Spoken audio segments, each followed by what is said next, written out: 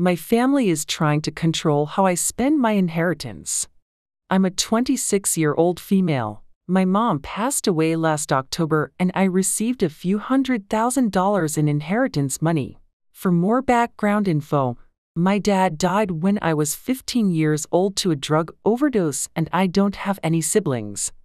My partner, 27 years old, and I have been living with his parents since my mom passed away because right beforehand a natural disaster made our condo unlivable. So we've been living with them for about the last six months. As a result, we haven't had any rent payments to make and my bills are pretty minimal. My partner makes good money through a collectibles business that he conducts at home, so he has a lot of flexibility. I've been feeling very lost in life after losing my mom and being parentless, so my partner and I thought this period of time might be a good opportunity for us to explore and travel a bit, which his parents fully support and are okay with. We traveled to Mexico twice in the past couple months.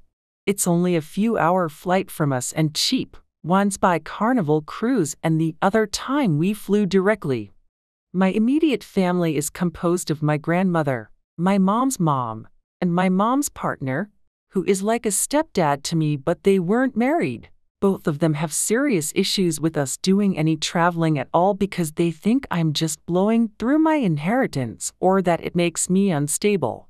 My grandma has been very controlling and has been trying to direct me to return to and finish school immediately, something I don't feel I'm ready for right now. She doesn't ask me what I want to do with my life or how I want to do things. She just gives me orders like I'm a child. Both of them want me to buy a house, which I plan on doing. But I want to wait because the economy is not great right now, and I also don't know where I want to live. I really want to live outside of my hometown where I've been residing, and feel like my career should be in a better position more stable because I'll likely need to pay for repairs if I buy a cheap house with cash, and I can't currently get a mortgage until I have more stable income. Now, my partner and I, we've been together for seven years by the way, have been planning a trip to Europe with the intention of getting engaged. We've been talking about getting engaged for the past year or two, but put it off because my mom had been extremely ill for the past few years and it just wasn't the right time. He even already bought a ring last year. We also decided that if we get engaged, it would be a several year engagement until our lives are more stable.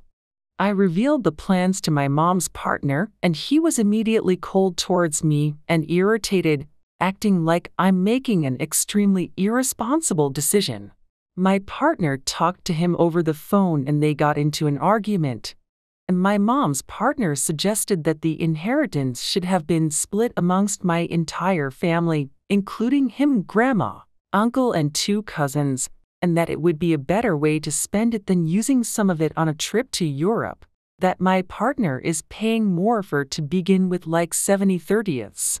He also talked to my grandmother, who thinks that us going on several trips vacations within six months of my mom dying is weird and irresponsible. My partner is now telling them that he will pay for the whole trip. He is able to do so financially, and now my grandma wants to see his bank statements or proof of income after he offered. I understand their concerns, but also feel like they are trying to control me and my inheritance and feel like it's sort of crossing a boundary. Not that I'm planning on it, but if I chose to blow all of the money or spend it in ways they don't approve on, I feel like that is totally my choice and my consequences to face. I also don't think it's that crazy to want to travel after losing someone you love.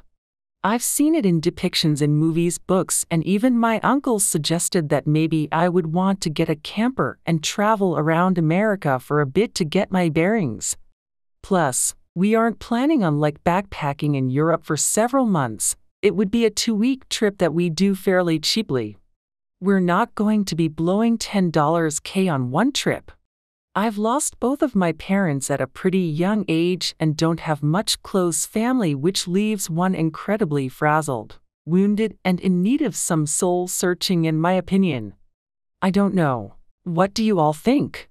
Is my family being controlling? Am I missing something or am I the one in the wrong? Advice or suggestions? In short, my family is being controlling about how I spend my inheritance. I want to spend a small portion of the money traveling, but they don't approve and it's causing tension in my relationship with them. Should I refrain from traveling to appease them or are they crossing boundaries by trying to control how I spend it? Edit. I also forgot to add this. There's a smaller amount of the money, like 30k, that is being held up in probate court. I have an attorney for it, but she has been taking an incredibly long time and I'm considering getting a different attorney. However, in the meantime, I'm worried about my stepdad or grandma going after the money against me. Is this something they could do? I'm wondering if I should cancel the trip, which was planned one week from now. I was heavily bullied since the beginning of kindergarten until the end of middle school. When I transferred in a different town, my classroom had 15 children, me excluded. Out of these 15, seven of them used to bully me constantly and the other eight simply ignored what was happening. Out of the seven bullies, four did some particularly heavy shit. I will call them the B team. You can guess what B stands for, while the other three did some random lighter things, throwing paper scraps at me, stealing pencils and things like that. I will call them the C team or acted as followers for the B team. What the B team did to me scarred me for life, and I had to go to therapy to deal with it. If I met them today, I would make them pay for everything they did to me. My hatred for the C team is not nearly as big, but it's still vivid. Until last year, I couldn't bring myself to forgive anybody in that classroom, both teachers and students, for doing nothing to help me when the B team was tormenting me. Last year, though my hatred started to fade following some serious events in my life. Sorry, I won't share what events. When I transferred, I swore to myself I would never go back to that town or talk to any of them ever again. Despite that, my past has found ways to follow me. I work in a pub, not sure if this is the right term in English, part time twice a week, and around six months ago I met Nina there by chance. Nina was one of the three bullies of the C team, and while I have forgiven them now, it doesn't mean I want to have anything to do with hers, so I tried to stay professional and act as if nothing was wrong. Anyway, physically, she hasn't changed much. I mean, she has grown up since middle school, obviously, but I could still recognize her. I'm not sure if I made myself clear. The same cannot be said for me, probably. In middle school, I was fat, white like snow, and I had light brown hair, while now I'm fit, my skin is a bit more pink and my hair have darkened in the last few years. When some of my friends look at my old photos, they struggle to recognize me. We didn't talk for much as I was working and she initially didn't recognize me but when one of my colleagues called me to ask me something, she connected the dots. I have a particular name that is rare in our country, as it's really old-fashioned and nobody use it anymore. Imagine, uh, I don't know, being called Aristotle today. Once she recognized me, her demeanor changed drastically and she got out pretty soon. She came back a couple of times in the following months and she was quite shy toward me whenever we interacted. Few weeks ago, she got mildly drunk and she started sobbing and ranting about what a crappy person she was in the past and how her life is shit. It was the classic drunken rambling and I didn't pay it much attention. I simply stopped serving her alcohol and gave her some water, but at some point she grabbed my hand while I was taking away one of the empty glasses and she apologized. I have to say it felt weirdly good. She didn't come back in the following weeks, but few days ago she texted me on social media, apologizing profusely for whatever she did while drunk, and then she suddenly asked me out. At the time, I was evidently too stupid or tried to understand clues and didn't understand it was meant as a date. She asked me out for a coffee, and I thought she simply wanted to apologize in person or talk about the past in a more sober state. I realized my mistake yesterday when I talked about it with a friend. Now I'm torn on what I should do. On one side, what Nina did in the past has conditioned me greatly, and I can't simply forget about it. On the other, she really looks apologetic and she seems to have changed. It's been 15 years, and maybe I should give her a chance. I used to be a nice guy. We all know the typical nice guy. The man who goes after girls and when they politely reject him, he insults them and says they are just like the rest, showing his true colors. I was one of them. I was never one for insults, but I had that mindset. Junior year of high school, I had gotten tired of constantly being rejected by the girls I like and for them to run off with not the best of people. I would be rude and gross to girls, saying the typical, I am a nice guy, give me a chance, or, you just date abusive guys and leave us nice guys. I felt those things deep down. The girl I crushed on for years never liked me back, but I still thought I was tough shit. I stuck around and slowly worked on my crippling anxiety to get through high school. It took all of my time and a lot of self isolation. About two years out of high school, the same crush from before started texting me again. We hit it off, her admitting that she shared feelings and it was going well.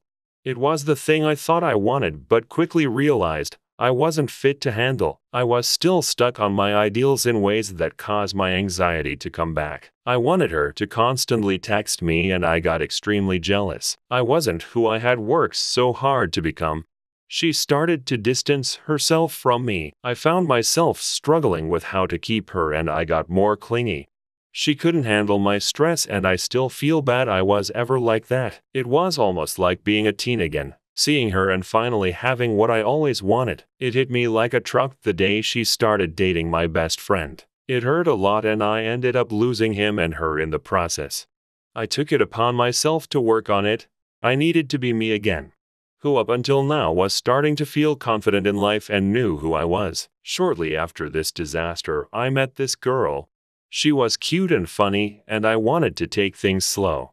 Just be friends with her. I didn't want to subject another person to clingy me. She was going through a breakup and I wanted to help her. So I did. I sat with her for hours while I helped her get over this person who had abused her very badly. She would talk with me about my situation. I quickly got over mine, it being a quick summer fling. Through fixing myself and her leaning on me, I truly fell for her and she fell for me. We both admitted to one another our feelings. It took about three months for her now ex to get completely out of the picture. That entire time, I held my ground and didn't allow myself to get too clingy. I started to feel more confident but still struggled with my own issues. Through all of this time together and us both finding ourselves again, we found love in one another, and she has helped me grow to be myself again. It might not seem like much to everyone, but I am proud of my progress, and without that shit attitude getting me rejected, I may not have been single when I met her. Even now, as I write this on my phone, she is asleep next to me. Every day is an adventure with her. Every day I wake up happy and ready to see what the love of my life has in store. Without her, I wouldn't be me anymore.